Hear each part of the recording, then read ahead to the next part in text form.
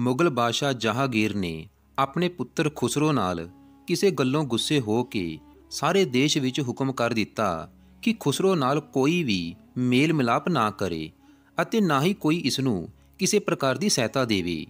ਇਸ ਕਰਕੇ ਖੁਸਰੋ ਦਿੱਲੀ ਤੋਂ ਭੱਜ ਕੇ ਕਾਬਲ ਨੂੰ ਜਾਂਦਾ ਹੋਇਆ ਗੋਇੰਦਵਾਲ ਤੋਂ ਲੰਘ ਕੇ ਤਰਨ ਤਾਰਨ ਆ ਪੁੱਜਾ।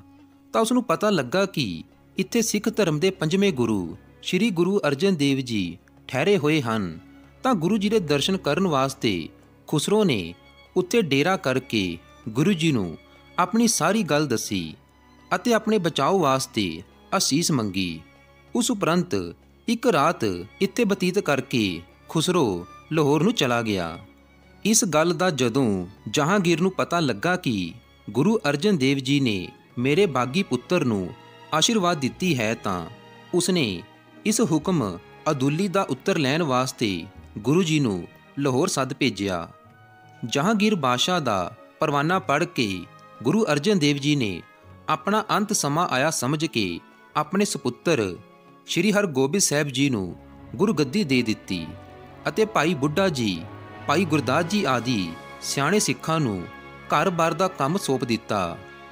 ਇਸ ਤਰ੍ਹਾਂ ਸਾਰੀ ਸਾਂਭ ਸੰਭਾਲ ਕਰਕੇ ਅਤੇ ਸੰਗਤ ਨੂੰ ਧੀਰਜ ਦੇ ਕੇ ਗੁਰੂ ਜੀ ਆਪਣੇ ਨਾਲ ਪੰਜ ਸਿੱਖ, ਭਾਈ ਜੇਠਾ ਜੀ, ਭਾਈ ਭੈੜਾ ਜੀ, ਭਾਈ ਬਿਧੀ ਚੰਦ ਜੀ, ਭਾਈ ਲੰਗਾਹਾ ਜੀ ਅਤੇ ਭਾਈ ਪ੍ਰਾਨਾ ਜੀ ਨੂੰ ਨਾਲ ਲੈ ਕੇ ਲਾਹੌਰ ਪਹੁੰਚ ਗਏ ਅਤੇ ਇੱਕ ਸਿੱਖ, ਜਿਸ ਦਾ ਨਾਮ ਸੱਦੂ ਸੀ ਉਸ ਦੇ ਘਰ ਜਾ ਠਹਿਰੇ। ਦੂਸਰੇ ਦਿਨ ਜਦੋਂ ਆਪਣੇ ਪੰਜ ਸਿੱਖਾਂ ਨਾਲ ਗੁਰੂ ਜੀ ਜਹਾਂਗੀਰ ਦੇ ਦਰਬਾਰ ਗਏ ਤਾਂ ਉਸਨੇ ਕਿਹਾ, ਤੁਸੀਂ ਮੇਰੇ ਬਾਗੀ ਪੁੱਤਰ ਨੂੰ ਆਪਣੇ ਪਾਸ ਰੱਖ ਕੇ ਰਸਦ ਅਤੇ ਆਸ਼ੀਰਵਾਦ ਦਿੱਤਾ ਹੈ। ਇਸ ਦੇ ਜਵਾਬ ਵਿੱਚ ਗੁਰੂ ਜੀ ਨੇ ਦੱਸਿਆ ਕਿ ਖੁਸਰੋ ਅਤੇ ਉਸ ਦੇ ਸਾਥੀਆਂ ਨੇ ਗੁਰੂ ਦੇ ਲੰਗਰ ਗੋਇੰਦਵਾਲ ਸਾਹਿਬ ਵਿੱਚ ਭੋਜਨ ਜ਼ਰੂਰ ਕੀਤਾ ਸੀ, ਪਰ ਉਹਨਾਂ ਦਿਨਾਂ ਉਹ ਤਰਨ ਤਾਰਨ ਵਿੱਚ ਸਨ। ਉਂਝ ਭੋਜਨ ਪ੍ਰਾਪਤ ਕਰਨ ਲਈ ਗੁਰੂ ਨਾਨਕ ਜੀ ਦੇ ਦਰ ਉੱਤੇ ਕੋਈ ਵੀ ਆ ਸਕਦਾ ਹੈ। ਫਕੀਰਾਂ ਦਾ ਦਰ ਹੋਣ ਦੇ ਕਾਰਨ ਉੱਥੇ ਰਾਜਾ ਅਤੇ ਰੰਕ ਦਾ ਭੇਦ ਨਹੀਂ ਕੀਤਾ ਜਾਂਦਾ।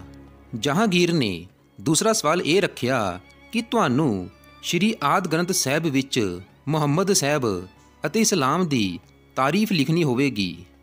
ਗੁਰੂ ਜੀ ਨੇ ਕਿਹਾ ਕਿ ਇਸ ਗ੍ਰੰਥ ਵਿੱਚ ਕੇਵਲ ਨਿਰੰਕਾਰ ਈਸ਼ਵਰ ਦੀ ਹੀ ਵਿਡਾਈ ਕੀਤੀ ਗਈ ਹੈ ਅਤੇ ਜਿਹੜੀ ਗੱਲ ਤੁਸਾਂ ਮੁਹੰਮਦ ਸਾਹਿਬ ਦੀ ਉਸਤਤੀ ਲਿਖਣ ਵਾਸਤੇ ਆਖੀ ਹੈ, ਤਾਂ ਇਹ ਸਾਡੇ ਵਾਸ ਦੀ ਗੱਲ ਨਹੀਂ।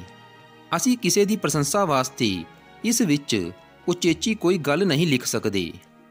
ਕਿਉਂਕਿ ਪ੍ਰਾਣੀ ਮਾਤਰ ਦੇ ਉਪਦੇਸ਼ ਵਜੋਂ ਸਾਨੂੰ ਕਰਤਾਰ ਵੱਲੋਂ ਜੋ ਪ੍ਰੇਰਣਾ ਮਿਲਦੀ ਹੈ, ਇਸ ਵਿੱਚ ਅਸੀਂ ਉਹੀ ਲਿਖ ਸਕਦੇ ਹਾਂ। ਜਹਾਂਗੀਰ ਨੇ ਜਦੋਂ ਇਹ ਜਵਾਬ ਸੁਣਿਆ ਤਾਂ ਉਹ ਸ਼ਾਂਤ ਹੋ ਗਿਆ। ਪਰ ਸ਼ੇਖ ਅਹਿਮਦ ਸਰਹਿੰਦੀ ਅਤੇ ਸ਼ੇਖ ਫਰੀਦ ਬੁਖਾਰੀ, ਜੋ ਕਿ ਪਹਿਲਾਂ ਵੱਲੋਂ ਹੀ ਅੱਗ ਬੁਬੁੱਲਾ ਹੋਏ ਬੈਠੇ ਸਨ, ਉਹਨਾਂ ਦਾ ਕਹਿਣਾ ਸੀ, ਇਹ ਤਾਂ ਬਾਦਸ਼ਾਹ ਦੀ ਤੋਹੀਨ ਹੈ ਅਤੇ ਗੁਰੂ ਜੀ ਦੀਆਂ ਗੱਲਾਂ ਵੱਲੋਂ ਬਗਾਵਤ ਦੀ ਬਦਬੂ ਆ ਰਹੀ ਹੈ। ਇਸ ਲਈ ਇਹਨਾਂ ਨੂੰ ਮਾਫ ਨਹੀਂ ਕੀਤਾ ਜਾ ਸਕਦਾ। ਇਸ ਪ੍ਰਕਾਰ ਚਾਪਲਸਾਂ ਦੇ ਚੰਗੁਲ ਵਿੱਚ ਫਸ ਕੇ ਬਾਦਸ਼ਾਹ ਵੀ ਗੁਰੂ ਜੀ ਉੱਤੇ ਦਬਾਅ ਪਾਉਣ ਲੱਗਾ ਕਿ ਉਹਨਾਂ ਨੂੰ ਸ਼੍ਰੀ ਆਦ ਗ੍ਰੰਥ ਸਾਹਿਬ ਜੀ ਵਿੱਚ ਹਜ਼ਰਤ ਮੁਹੰਮਦ ਸਾਹਿਬ ਅਤੇ ਇਸਲਾਮ ਦੀ ਤਾਰੀਫ ਵਿੱਚ ਜ਼ਰੂਰ ਕੁਝ ਲਿਖਣਾ ਚਾਹੀਦਾ ਹੈ। ਪਰ ਗੁਰੂ ਜੀ ਨੇ ਇਹ ਲਿਖਣ ਲਈ ਸਾਫ਼ ਮਨਾ ਕਰ ਦਿੱਤਾ। ਬਸ ਫਿਰ ਕੀ ਸੀ? ਦੁਸ਼ਟਾਂ ਨੂੰ ਮੌਕਾ ਮਿਲ ਗਿਆ।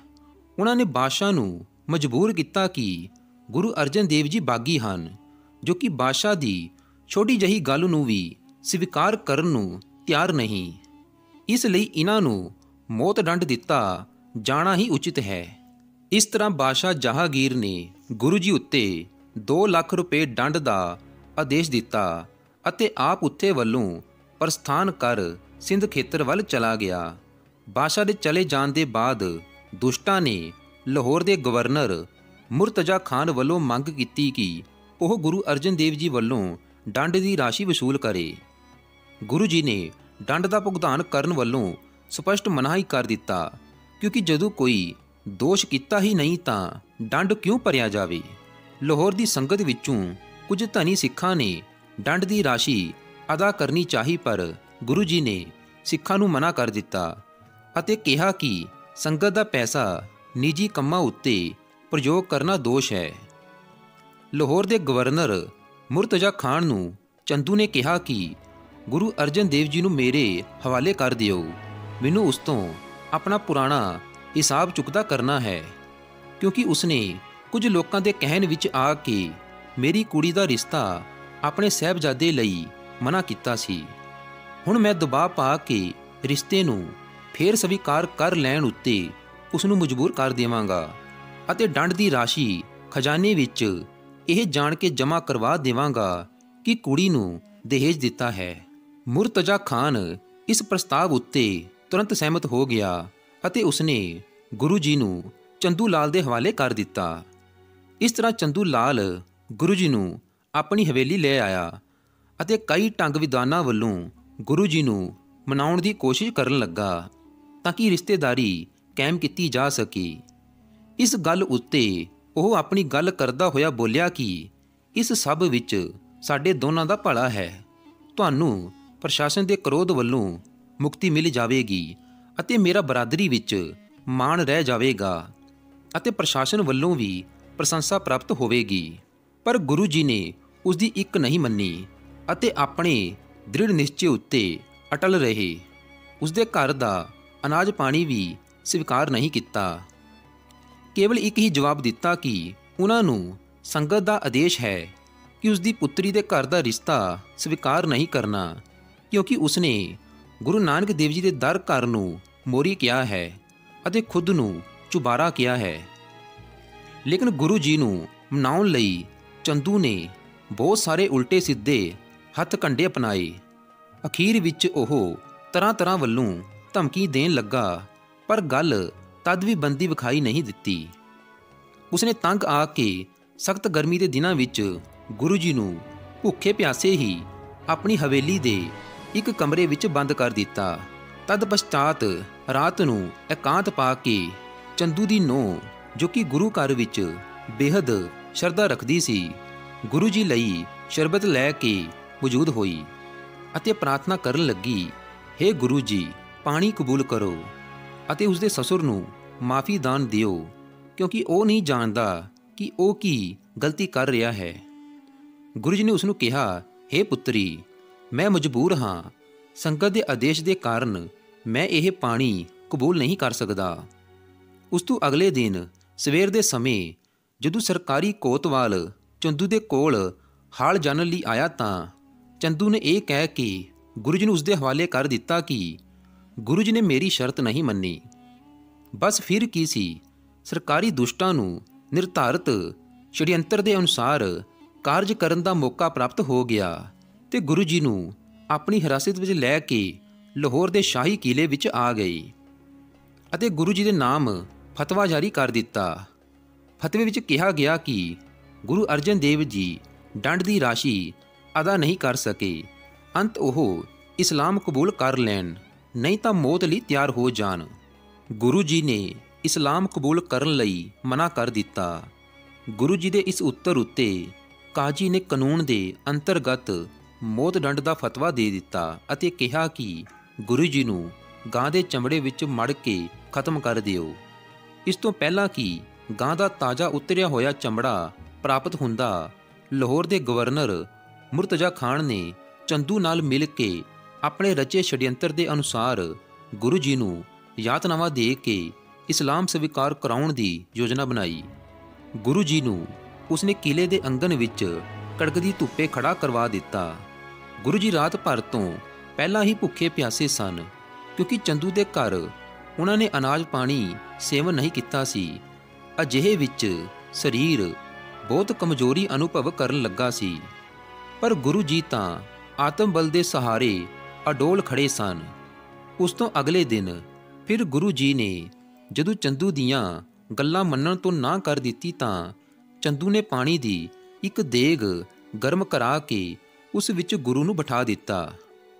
ਗੁਰੂ ਜੀ ਨੂੰ ਪਾਣੀ ਦੀ ਉਬਲਦੀ ਦੇਗ ਵਿੱਚ ਬੈਠਾ ਵੇਖ ਕੇ ਭਾਈ ਜੇਠਾ ਜੀ ਆਦਿ ਗੁਰੂ ਜੀ ਦੇ ਸਾਥੀ ਸਿੱਖਾਂ ਵਿੱਚ ਹਾਹਾਕਾਰ ਮਚ ਗਈ ਅਤੇ ਜਦੋਂ ਉਹ ਗੁਰੂ ਜੀ ਨੂੰ ਦੇਗ ਵਿੱਚੋਂ ਕੱਢਣ ਵਾਸਤੇ ਅੱਗੇ ਹੋਏ ਤਾਂ ਸਿਪਾਹੀਆਂ ਨੇ ਉਹਨਾਂ ਨੂੰ ਬਹੁਤ ਮਾਰਿਆ। ਸਿੱਖਾਂ ਉੱਤੇ ਸਖਤੀ ਹੁੰਦੀ ਵੇਖ ਕੇ ਗੁਰੂ ਜੀ ਨੇ ਉਹਨਾਂ ਨੂੰ ਕਿਹਾ, ਪਰਮੇਸ਼ਰ ਦਾ ਭਾਣਾ ਮੰਨ ਕੇ ਸ਼ਾਂਤ ਰਹੋ।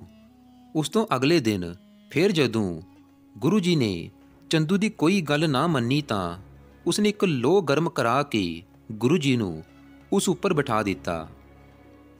ਗੁਰੂ ਜੀ ਦੇ ਸਰੀਰ ਉੱਤੇ ਸੜਦੀ ਬਲਦੀ ਤੱਤੀ ਰੇਤ ਦੇ ਕੜਛੇ ਪਵਾਏ, ਪਰ ਗੁਰੂ ਜੀ ਸ਼ਾਂਤੀ ਦੇ ਪੁੰਜ ਅਡੋਲ ਬੈਠੇ। ਤੇਰਾ ਭਾਣਾ ਮਿੱਠਾ ਲਾਗੇ, ਹਰ ਨਾਮ ਪਦਾਰਥ ਨਾਨਕ ਮੰਗੇ ਪੜਦੇ ਰਹੇ। ਵੇਖਣ ਤੇ ਸੁਣਨ ਵਾਲੇ ਤਰਾ ਤਰਾ ਕਰਦੇ ਸਨ, ਪਰ ਵਸ ਕਿਸੇ ਦਾ ਕੋਈ ਨਹੀਂ ਸੀ ਚੱਲਦਾ। ਗੁਰੂ ਜੀ ਦਾ ਸਰੀਰ ਛਾਲਿਆਂ ਨਾਲ ਫੁੱਲ ਕੇ ਬਹੁਤ ਭਿਆਨਕ ਹੋ ਗਿਆ ਸੀ। ਇਹਨਾਂ ਅਤਿਆਚਾਰਾਂ ਦੀ ਸਾਰੇ ਸ਼ਹਿਰ ਵਿੱਚ ਦੂਰ ਦੂਰ ਤੱਕ ਚਰਚਾ ਹੋਣ ਲੱਗ ਪਈ। ਇਹ ਖਬਰ ਜਦੋਂ ਸਾਈਂ ਮੀਆਂ ਮੀਰ ਜੀ ਨੇ ਸੁਣੀ ਤਾਂ ਉਹ ਤਤਕਾਲ ਹੀ ਗੁਰੂ ਜੀ ਪਾਸ ਆਏ ਅਤੇ ਆਪ ਜੀ ਦੇ ਸਰੀਰ ਨੂੰ ਇੰਨੇ ਕਸ਼ਟ ਵਿੱਚ ਵੇਖ ਕੇ ਕਿਹਾ, ਗੁਰੂ ਜੀ, ਇਹ ਕੀ ਖੇਡ ਕਰ ਰਹੇ ਹੋ? ਗੁਰੂ ਜੀ ਨੇ ਕਿਹਾ, ਇਹ ਕਰਤਾਰ ਦੇ ਹੁਕਮ ਅੰਦਰ ਖੇਡ ਹੋ ਰਹੀ ਹੈ। ਕਿਸੇ ਦਾ ਕੁਝ ਵਸ ਨਹੀਂ। ਸਾਨੂੰ ਆਪਣੇ ਮਾਲਕ ਪ੍ਰਭੂ ਦਾ ਭਾਣਾ ਮਿੱਠਾ ਕਰਕੇ ਮੰਨਣਾ ਚਾਹੀਦਾ ਹੈ। ਗੁਰੂ ਜੀ ਪਾਸੋਂ ਇਹ ਸ਼ਾਂਤੀ ਅਤੇ ਅਡੋਲਤਾ ਦੇ ਬਚਨ ਸੁਣ ਕੇ ਮੀਆਂ ਮੀਰ ਜੀ ਅਚਰਜ ਰਹਿ ਗਏ। ਇੰਨੇ ਸਖਤ ਤਸੀਹੇ ਲੈ ਕੇ ਵੀ ਜਦੋਂ ਗੁਰੂ ਜੀ ਅਡੋਲ ਰਹੇ ਤਾਂ ਚੰਦੂ ਨੇ ਆਪਣੇ ਆਦਮੀਆਂ ਨਾਲ ਸਲਾਹ ਕੀਤੀ ਕਿ ਇਹਨਾਂ ਦੇ ਧਰਮ ਨੂੰ ਨਸ਼ਟ ਕਰਨ ਵਾਸਤੇ ਸਵੇਰੇ ਮੋਈ ਹੋਈ ਗਾਉਂ ਦੇ ਕੱਚੇ ਚਮੜੇ ਵਿੱਚ ਮੜ ਦਿਓ। ਜਿਉਂ-ਜਿਉਂ ਚਮੜਾ ਸੁੱਕੇਗਾ, ਤਿਉਂ-ਤਿਉਂ ਇਹਨਾਂ ਦੇ ਸਰੀਰ ਨੂੰ ਕਸ਼ਟ ਹੋਵੇਗਾ ਅਤੇ ਇਹਨਾਂ ਦਾ ਹਿੰਦੂ ਧਰਮ ਵੀ ਨਸ਼ਟ ਹੋ ਜਾਵੇਗਾ। ਜਦੋਂ ਦਿਨ ਚੜਿਆ ਤਾਂ ਚੰਦੂ ਨੇ ਫਿਰ ਗੁਰੂ ਜੀ ਪਾਸ ਆਣ ਕੇ ਆਪਣੀ ਗੱਲ ਮਨਾਉਣ ਵਾਸਤੇ ਆਖਿਆ ਪਰ ਜਦ ਫਿਰ ਵੀ ਗੁਰੂ ਜੀ ਨੇ ਉਸ ਦੀ ਗੱਲ ਨਾ ਮੰਨੀ ਤਾਂ ਉਸਨੇ ਕਿਹਾ, ਅੱਜ ਤੁਹਾਨੂੰ ਮੋਈ ਹੋਈ ਗਾਉਂ ਦੇ ਕੱਚੇ ਚਮੜੇ ਵਿੱਚ ਮੜਿਆ ਜਾਵੇਗਾ, ਤੁਸੀਂ ਤਿਆਰ ਹੋ ਜਾਵੋ। ਉਸ ਦੀ ਗੱਲ ਸੁਣ ਕੇ ਗੁਰੂ ਜੀ ਨੇ ਕਿਹਾ, ਪਹਿਲਾਂ ਅਸੀਂ ਰਾਵੀ ਨਦੀ ਵਿੱਚ ਇਸ਼ਨਾਨ ਕਰਨਾ ਚਾਹੁੰਦੇ ਹਾਂ, ਫਿਰ ਜੋ ਤੁਹਾਡੀ ਮਰਜ਼ੀ ਹੈ, ਸੋ ਕਰ ਲੈਣਾ। ਗੁਰੂ ਜੀ ਦੀ ਇਹ ਗੱਲ ਸੁਣ ਕੇ ਚੰਦੂ ਬੜਾ ਖੁਸ਼ ਹੋਇਆ ਕਿ ਇਹਨਾਂ ਦੇ ਛਾਲਿਆਂ ਨਾਲ ਸੜੇ ਹੋਏ ਸਰੀਰ ਨੂੰ ਜਦੋਂ ਨਦੀ ਦਾ ਠੰਡਾ ਪਾਣੀ ਲੱਗੇਗਾ ਤਾਂ ਇਹ ਹੋਰ ਵੀ ਦੁਖੀ ਹੋਣਗੇ। ਚੰਗਾ ਹੈ, ਇਹਨਾਂ ਨੂੰ ਇਸ਼ਨਾਨ ਦੀ ਆਗਿਆ ਦੇ ਦਿੱਤੀ ਜਾਵੇ। ਇਹ ਸੋਚ ਵਿਚਾਰ ਕੇ ਚੰਦੂ ਨੇ ਆਪਣੇ ਸਿਪਾਹੀਆਂ ਨੂੰ ਕਿਹਾ ਕਿ ਜਾਓ, ਅੱਜ ਇਹਨਾਂ ਨੂੰ ਰਾਵੀ ਵਿੱਚ ਇਸ਼ਨਾਨ ਕਰਾ ਲਿਆਓ। ਤਦ ਗੁਰੂ ਜੀ ਆਪਣੇ ਪੰਜ ਸਾਥੀ ਸਿੱਖਾਂ ਨੂੰ ਨਾਲ ਲੈ ਕੇ ਸਿਪਾਹੀਆਂ ਨਾਲ ਰਾਵੀ ਉੱਤੇ ਪਹੁੰਚ ਗਏ। ਗੁਰੂ ਜੀ ਨੇ ਨਦੀ ਦੇ ਕਿਨਾਰੇ ਉੱਤੇ ਬੈਠ ਕੇ ਚਾਦਰੇ ਦੀ ਬੁੱਕਲ ਮਾਰ ਕੇ ਜਪਜੀ ਸਾਹਿਬ ਦਾ ਪਾਠ ਕਰਕੇ ਪਾਈ ਲੰਗਾ ਆਦਿ ਸਿੱਖਾਂ ਨੂੰ ਆਖਿਆ ਕਿ ਹੁਣ ਸਾਡੀ ਪ੍ਰਲੋਕ ਗਮਨ ਦੀ ਤਿਆਰੀ ਹੈ। ਤੁਸੀਂ ਸ਼੍ਰੀ ਹਰਗੋਬਿੰਦ ਸਾਹਿਬ ਜੀ ਨੂੰ ਧੀਰਜ ਦੇਣੀ ਅਤੇ ਕਹਿਣਾ ਕਿ ਸੋਕ ਨਹੀਂ ਕਰਨਾ, ਕਰਤਾਰ ਦਾ ਭਾਣਾ ਮੰਨਣਾ, ਉਸ ਉਪਰੰਤ ਗੁਰੂ ਜੀ ਰਾਵੀ ਨਦੀ ਵਿੱਚ ਪ੍ਰਵੇਸ਼ ਕਰਕੇ ਆਪਣਾ ਸਰੀਰ ਤਿਆਗ ਕੇ 30 ਮਈ 1606 ਈਸਵੀ ਨੂੰ ਸੱਚਖੰਡ ਜਾ ਬਰਾਜੇ। ਗੁਰੂ ਜੀ ਦੇ ਜੋਤੀ ਜੋਤ ਸਮਾਉਣ ਦਾ ਸਾਰੇ ਸ਼ਹਿਰ ਵਿੱਚ ਬੜਾ ਸ਼ੋਕ ਮਨਾਇਆ ਗਿਆ।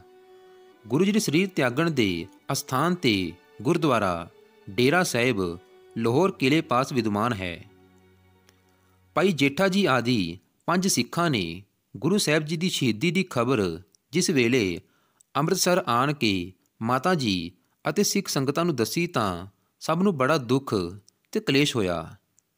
ਖਬਰ ਸੁਣ ਕੇ ਅਫਸੋਸ ਅਤੇ ਦੁੱਖ ਪ੍ਰਗਟ ਕਰਨ ਵਾਸਤੇ ਸਭ ਰਿਸ਼ਤੇਦਾਰ ਅਤੇ ਸਿੱਖ ਅੰਮ੍ਰਿਤਸਰ ਆ ਗਏ। ਬਾਬਾ ਬੁੱਢਾ ਜੀ ਨੇ ਸਭ ਨੂੰ ਧੀਰਜ ਕਰਨ ਵਾਸਤੇ ਆਖਿਆ ਕਿ ਗੁਰੂ ਜੀ ਦੀ ਬਾਣੀ ਦਾ ਸਿਮਰਨ ਕਰੋ। ਗੁਰੂ ਜੀ ਲੋਕ ਭਲਾਈ ਅਤੇ ਪਰਉਪਕਾਰ ਦੇ ਬੇਅੰਤ ਕੰਮ ਕਰਕੇ ਆਪਣੇ ਬੈਕੁੜ ਧਾਮ ਨੂੰ ਗਏ ਹਨ। ਉਹਨਾਂ ਦਾ ਸ਼ੋਕ ਕਰਨਾ ਉਚਿਤ ਨਹੀਂ ਹੈ। ਸ਼ੋਕ ਉਹਨਾਂ ਦਾ ਕਰਨਾ ਉਚਿਤ ਹੁੰਦਾ ਹੈ, ਜਿਹੜੇ ਆਪਣੀ ਸਾਰੀ ਉਮਰ ਜਗਤ ਦੇ ਭੋਗ ਵਿੱਚ ਲੱਗ ਕੇ ਸਤ ਸੰਗ ਅਤੇ ਨਾਮ ਸਿਮਰਨ ਤੋਂ ਬਿਨਾਂ ਹੀ ਬਤੀਤ ਕਰ ਜਾਂਦੇ ਹਨ। ਇਸ ਤਰ੍ਹਾਂ ਭਾਈ ਬੁੱਢਾ ਜੀ ਨੇ ਸਭ ਨੂੰ ਸਮਝਾ ਬੁਝਾ ਕੇ ਧਿਰਜ ਦਿੱਤੀ ਅਤੇ ਸ਼ਾਂਤ ਕਰਕੇ ਬਿਠਾਇਆ। ਸੋ ਪਿਆਰੀ ਸਾਧ ਸੰਗਤ ਜੀ, ਇਸ ਵੀਡੀਓ ਨੂੰ ਲਾਈਕ ਕਰੋ ਸ਼ੇਅਰ ਕਰੋ ਅਤੇ ਕਮੈਂਟ ਬਾਕਸ ਵਿੱਚ ਧੰਨ ਧੰਨ ਸ੍ਰੀ ਗੁਰੂ ਅਰਜਨ ਦੇਵ ਜੀ ਜ਼ਰੂਰ ਲਿਖੋ।